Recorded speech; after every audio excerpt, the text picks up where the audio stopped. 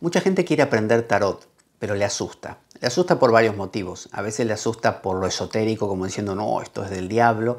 Otras veces le asusta porque lo ve muy difícil. Dice, no, hay que tener un don o yo no tengo la cabeza para esto. Sin embargo, la manera en que yo enseño el tarot es muy, muy intuitiva y no tienes que memorizar cosas, ¿no? Vamos recorriendo los distintos arcanos, viendo los símbolos que contienen y luego te voy enseñando a jugar con esas cartas, a, generar una interpretación que tiene mucho más que ver con lo visual, con lo que la carta te está mostrando, que con significados que tengas que aprenderte de memoria.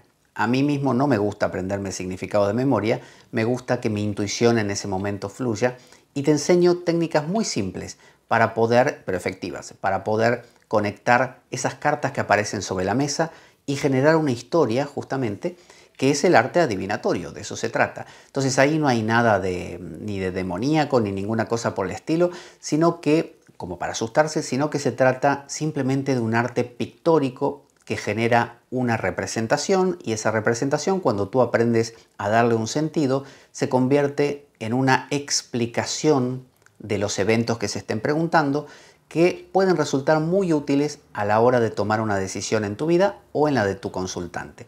Así que le damos el formato al curso de tarot que tú necesites. Normalmente tengo un formato estándar de unas 10 clases donde vemos todo el tarot y, comparativamente con otras barajas que van ayudando a, que, a que veas mejor cada una de las cartas bajo otros prismas, otras perspectivas, que eso, eso es muy útil.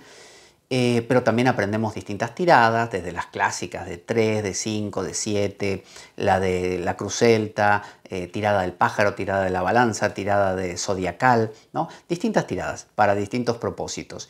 Pero la estrella aquí es el método este de interpretación visual, ¿no? una interpretación donde se genera una historieta, como si fueran viñetas de justamente de una historieta, y y aprendemos a, jugar, pero es maravilloso, porque cada combinación de cartas va a dar algo distinto.